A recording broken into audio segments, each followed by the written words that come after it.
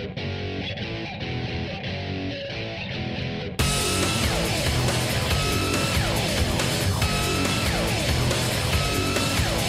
everybody, welcome back to DeePaige TV. I am DeePaige, and in today's video, I'm just going to give you guys a little bit of a rundown of what I've been doing, especially since I've really been uh, uploading a lot of Roblox tutorials, and I thought, you know what, why not go back and um, redo or just update some things for my um, character customizer that I've done in the past, because I know a lot of people have been like, you know, trying to um, asked me about, hey, can we get like a certain update for the character customizer?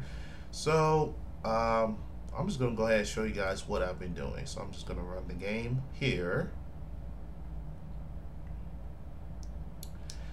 And as you can see, um, this is not actually my character's outfit. I do have a default outfit, so let me click on reset.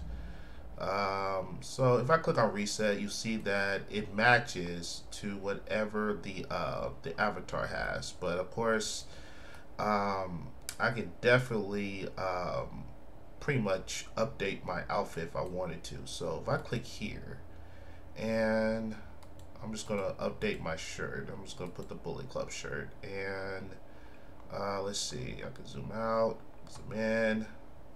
So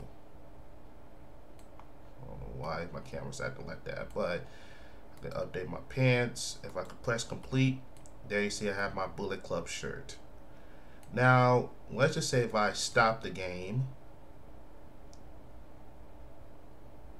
and I play it again, look what happens.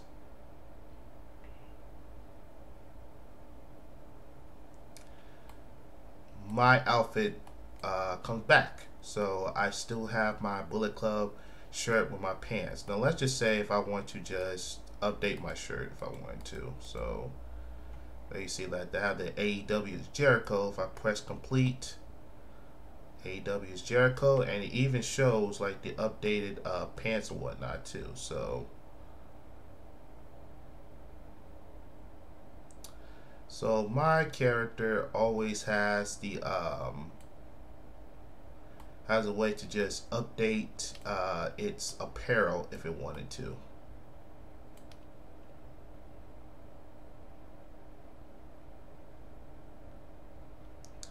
So I'm still pretty much working on the uh, the character customizer, but as you can see from now, um, my character customizer is um, pretty much saving and loading every single time uh, the character's outfit. So that way uh, every time it starts to play it has the new um, apparel.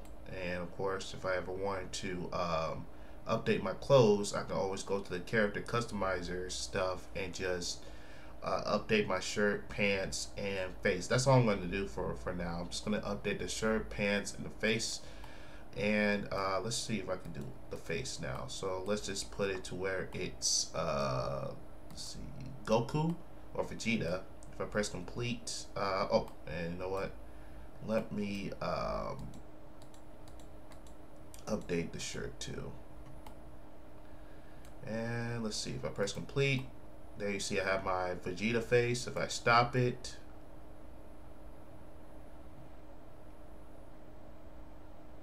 and if I play it,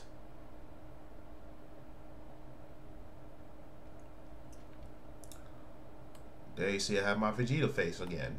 Uh, that's what I have so far for my um,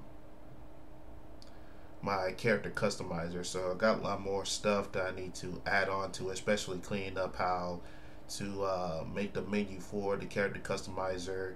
Um, just cleaning up to make like you know the buttons and stuff, but it's coming along pretty pretty nice. So uh, yeah, that's pretty much it on the uh, the character customizer. Hope you guys uh, are having a great day. I'll see you guys in my next video. And um, if you guys want the the full project, of course, um, be sure to. I want to get like a lot of thumbs up for this project. So um, if you can, just like you know, give me a thumbs up. And if you guys want to go and pursue a tutorial for this, um, please let me know and I'll go ahead and structure a tutorial of how to create a character customizer which comes along with like you know uh, saving and loading data.